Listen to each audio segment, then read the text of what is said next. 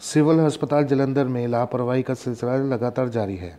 एक नौजवान जो कि 26 वर्ष का था, बिना इलाज के रात भर तड़प तड़प कर सुबह जान दे गया। मृतक की पहचान सन्नी पुत्र परमजीत निवासी बिछोड़ी बलाचौर के रूप में हुई। इस बाबत जब डॉक्टर अनंत से बात की गई तो उन्होंने कहा कि जो भी कार्रवाई बनती होगी, वो हम करेंगे। जिसकी भी लापरवाही सामने आएगी, वो सस्पेंड या निलंबित कर दिया जाएगा। देखिए इस वीडियो में ਆ ਸੀਗੇ ਕੋਲ। ਟ੍ਰੀਟਮੈਂਟ ਬਾਰੇ ਤੁਹਾਨੂੰ ਕੀ ਦੱਸਿਆ ਸੀ ਅੱਗੇ ਅੱਗੇ ਦੱਸੋ ਇਹਨਾਂ ਨੂੰ ਦੱਸ ਰਹੇ ਜੀ ਦੱਸਤਾ ਪਹਿਲਾਂ ਜੋ ਦੇਖਣਾ ਨਹੀਂ ਨਹੀਂ ਡਾਕਟਰ ਸਾਹਿਬ ਨੇ ਦੱਸਿਆ ਸੀਗਾ ਕਿ ਤੁਹਾਨੂੰ ਕਿ ਬੱਚੇ ਨੂੰ ਤੁਹਾਡਾ ਇਨਫੈਕਸ਼ਨ ਹੈ ਬਹੁਤ ਖਤਰਨਾਕ 48 ਘੰਟੇ ਦਾ ਟਾਈਮ ਹੈ 24 ਘੰਟੇ ਟਾਈਮ ਹੈ ਦੱਸਦੇ ਪਏ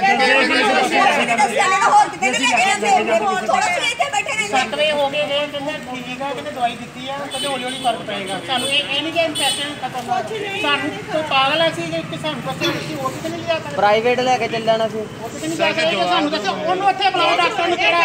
ਉਹ ਕੇਸ ਕਰਦੇ ਨੇ ਤੇ ਮੋਰੇ।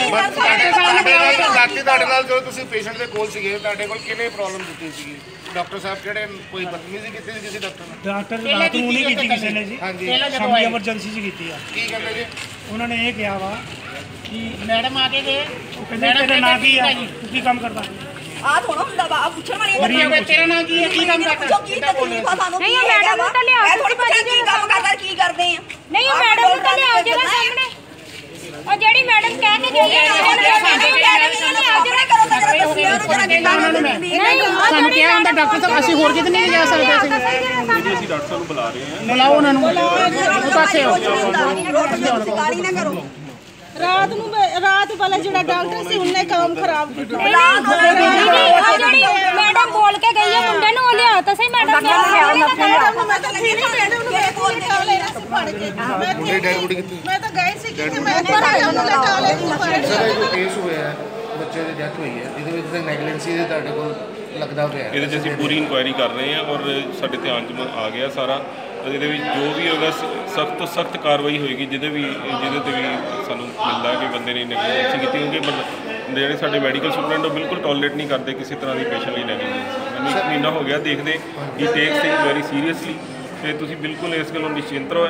ਜੇ ਕਿਸੇ ਦੀ ਵੀ ਨੈਗਲੀਜੈਂਸੀ ਹੈ ਤੇ he will be punished sir ਉਹੀ ਗੱਲ ਹੈ ਨਾ ਥੋੜੇ ਦਿਨ ਪਹਿਲਾਂ ਇੱਕ ਲੇਡੀ ਦੇ ਇੱਥੇ ਬੇਬੀ ਹੋਇਆ ਬੇਬੀ ਵਾਸਤੇ ਆਈ ਸੀ। ਬੇਬੀ ਉਹ ਕਰ ਬੇਬੀ ਡਿਲੀਵਰ ਤੋਂ ਬਾਅਦ ਉਹਨੂੰ ਬਲੱਡ ਦਿੱਤਾ ਡਾਕਟਰ ਸਾਰੇ ਭੱਜੇ ਆਏ ਸੀ ਦੇਖ ਰਹੇ ਸੀ ਜਦ ਪੇਸ਼ੈਂਟ ਬਹੁਤ ਸੀਰੀਅਸ ਹੋ ਗਿਆ ਤੇ ਸਾਰੇ ਸੀਨੀਅਰ ਡਾਕਟਰ ਸਾਰੇ ਪਹੁੰਚ ਗਏ ਸੀ। ਅਸੀਂ ਉੱਥੇ ਸੀ ਮੈਂ ਰੀਸੈਂਟਲੀ ਜੁਆਇਨ ਕੀਤਾ ਮੇਰੇ ਨੋਟਿਸ ਮੈਂ ਦੱਸ ਦਿੰਦਾ, sir, ਮਹੀਨੇ ਪੁਰਾਣੀ ਲੇਕਿਨ। ਇਹਦੀ ਇਹਦਾ ਪ੍ਰੋਮਿਸ ਹੈ ਕਿ ਮੈਂ ਮਤਲਬ ਜੀ will enquire it thoroughly not worry ਉਸ ਨੂੰ ਮਰਨ ਦਾ ਕਹਤਾ ਜੀ ਇਹ ਨਹੀਂ ਬਚਣੀ ਇਹਨੂੰ ਕਿਸੇ ਹੋਰ ਲੈ ਜਾਓ ਉਹਨੂੰ ਕਿਤੇ ਹੋਰ ਲੈ ਗਏ ਡੀਐਮਸੀ ਤੋਂ ਉੱਥੇ ਜਾ ਕੇ ਠੀਕ ਹੋਈ ਕਿ ਸਾਡੀ ਰਿਸਪੌਂਸਿਬਿਲਟੀ ਬਸ ਇੰਨੀ ਹੈ ਕਿ ਪੇਸ਼ੈਂਟ ਨੂੰ ਦਬਾ ਦਈਏ ਮਰਨ ਤੱਕ ਚੜ੍ਹਦੀ ਉਸ ਤੋਂ ਪਹਿਲੇ ਲੈ ਜਾਓ। ਉਹ ਡੀਐਮਸੀ ਜਾ ਕੇ ਬਚ ਗਈ ਬੱਚੀ। my promise that we will inquire it seriously and strict action will be taken against them whosoever is not cared for duty. ਇਹਦੇ ਵਿੱਚ ਕੋਈ ਕਹਿਣ ਵਾਲੀ ਗੱਲ you will see it. Don't worry. It's my promise ਆ ਦੇਖੋ sir ਇਹ ਬੇਟੀ ਆ। 2 ਸਾਲ ਦੀ ਬੇਟੀ।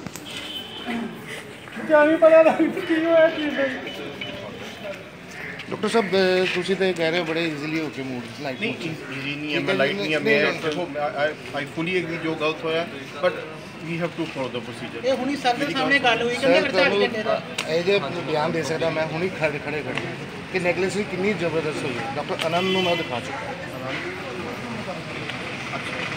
ਠੀਕ ਹੈ ਜੀ ਪਲੀਜ਼ ਕਾਈਂਡਲੀ ਇਦਾਂ ਨਾ ਟ੍ਰੀਟ ਹੋਵੇ। ਨਹੀਂ ਇਸ ਤਰ੍ਹਾਂ ਨਹੀਂ ਹੋਏਗਾ। ਠੀਕ ਹੈ ਜੀ ਥੋੜੇ ਦਿਨ ਪਹਿਲਾਂ ਵੀ ਇੱਕ ਕੇਸ ਹੋਇਆ ਸੀ ਨਹੀਂ ਸੀਗੇ। ਮੈਂ ਦੱਸ ਦੇਣਾ ਸਰ ਇੱਕ ਇੱਕ ਡਿਲੀਵਰੀ ਕੇਸ ਸੀ। ਸਰ ਸੁਣੋ ਸੁਣੋ। ਇੱਕ ਡਿਲੀਵਰੀ ਕੇਸ ਸੀ। ਬਟ ਪਰ ਸਰ ਇੰਨੀ ਨੈਗਲੈਂਸੀ ਕਿਉਂ? ਇੱਕ ਪੇਸ਼ੈਂਟ ਤੁਹਾਨੂੰ ਕੋਲ ਆਉਂਦਾ ਇੱਕ ਆਸ ਲੈ ਕੇ ਆਉਂਦਾ।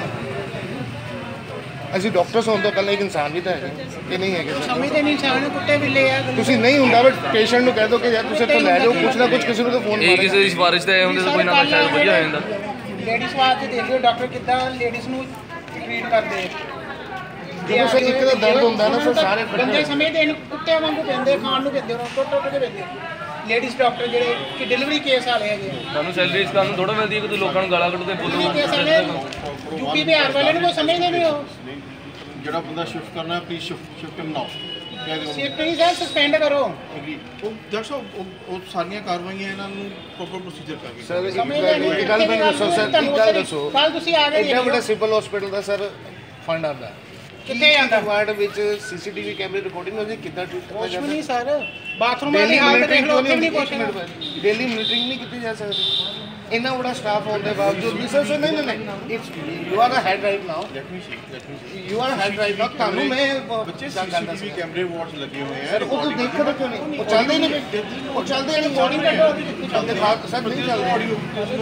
ਸਰ ਮੈਂ ਉਹ ਤਾਂ ਪੁੱਛ ਰਿਹਾ। ਤੁਸੀਂ ਹੈਡ ਹੈ ਆਡੀਓ ਕਿਉਂ ਨਹੀਂ ਹੈ ਸਰ तालुक भी एक सिविल जगह है कोई भी प्राइवेट है नहीं।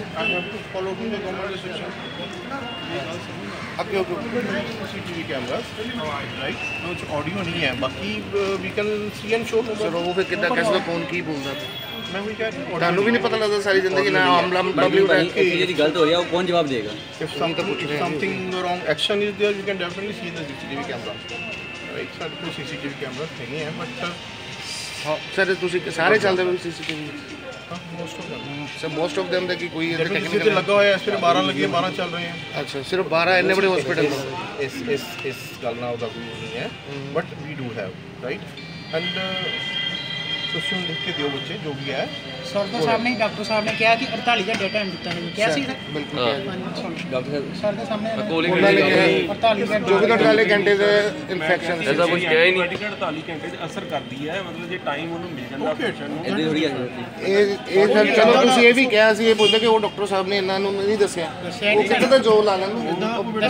ਹੀ। Should be prepare for that ਇਹ ਪ੍ਰੀਪੇਅਰ ਰਹਿੰਦੇ 48 ਘੰਟੇ ਸੀਰੀਅਸ ਹੈ। ਇਦਾਂ ਦੀ ਕੋਈ ਗੱਲ ਹੋ ਸਕਦੀ ਸੀ ਨਾ। ਅਸੀਂ ਹੋਰ ਕਿਤੇ ਲੈ ਦੱਸਿਆ ਕਿ ਹੁਣ ਤੁਸੀਂ ਕਹਿੰਦੇ ਹੋ ਤੁਹਾਡੇ ਬਿਆਨ ਹੋ ਜਾਣੇ ਇਹਨਾਂ ਦੇ ਬਿਆਨ ਸਕਦੇ ਨੇ ਬਿਆਨ ਦੀ ਨਹੀਂ ਗੱਲ ਲੱਗਦੀ। ਉਹਨਾਂ ਨੂੰ ਪਤਾ ਹੀ ਨਹੀਂ ਹੈਗਾ ਕਿ ਸਾਡਾ ਪੇਸ਼ੈਂਟ ਨਾ ਸੀਰੀਅਸ ਹੈ।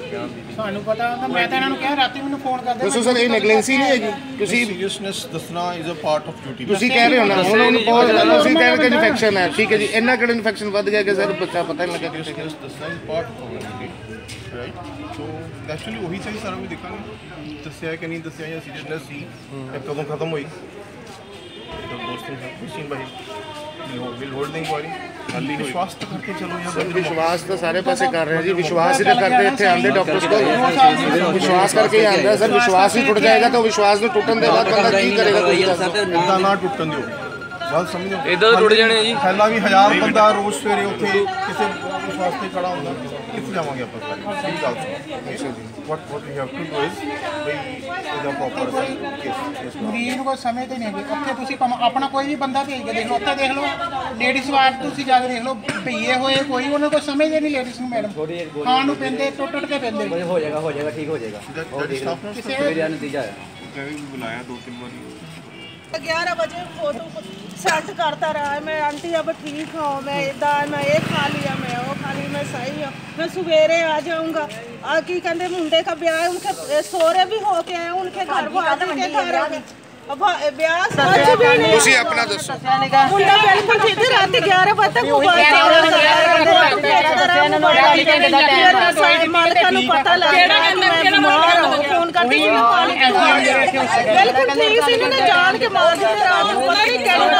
ਦਿੱਤੇ। ਆ। ਜੋ ਮੁੰਡਾ ਹੋ ਗਿਆ